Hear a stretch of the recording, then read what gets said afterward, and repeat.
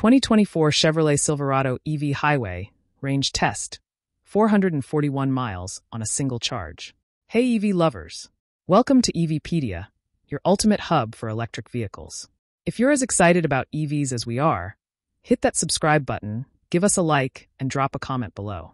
And if you want to help us bring even more amazing content, consider giving us a super thanks. It even outpaced its projected combined EPA range rating while driving at 70 miles per hour. For many owners, how far an electric truck can drive on a single charge will determine whether it's an acceptable replacement for a conventionally fueled pickup truck.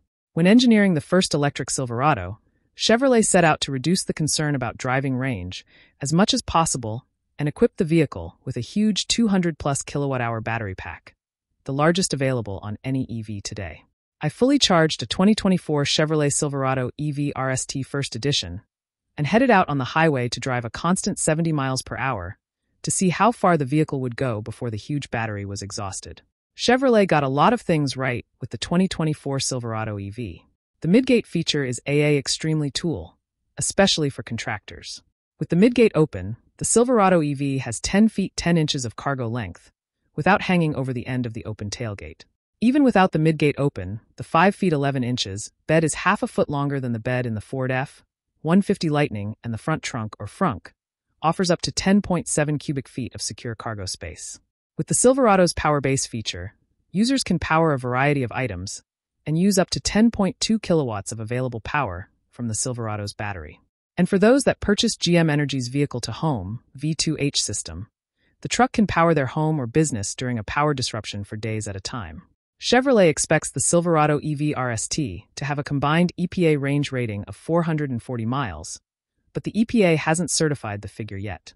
In my numerous 70 miles per hour highway range tests over the years, I've found that most vehicles fall short of their combined EPA range rating when driven at 70 miles per hour. However, it's not that unusual for a vehicle to meet or even exceed that figure. The Porsche Taycan, for instance, always exceeds its EPA range figure by a wide margin whenever we do highway range tests. Tesla vehicles, on the other hand, usually fall about 10% short of their EPA combined range ratings. So after charging the Silverado EV up to 100% at an Electrify America DC fast charger, I headed out onto the New Jersey Turnpike to drive the same course that I use for all of my range tests to see how far the huge battery pack would propel the electric pickup truck. After over six hours of driving and using GM's hands-free Super Cruise for most of the day, I rolled back into the same Electrify America parking lot, where I charged up that morning and finished up driving 441.7 miles, slightly more than Chevrolet's quoted 440 mile combined range rating. Of course, if I was pulling a 10,000 pounds trailer, or if this range test was done in the dead of winter, the results would have been much different, and my day would have been much shorter. But now we have a best case benchmark to start with.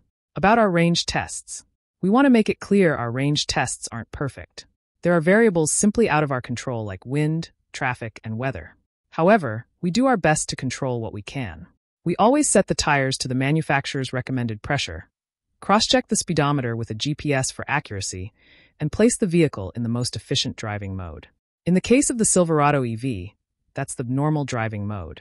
We set the climate control to somewhere between 68 degrees Fahrenheit and 70 degrees Fahrenheit and on the lowest fan setting unless more heating or cooling is needed to maintain a comfortable cabin.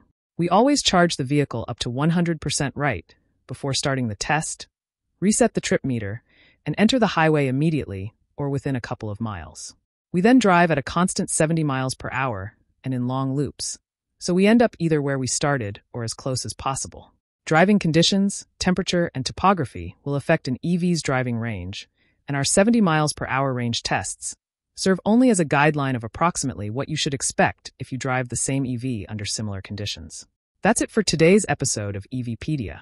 If you had fun, subscribe, like, and share your thoughts in the comments. Don't forget to give us a super thanks to support our channel. Thanks for watching and stay charged. Until next time, keep it electric.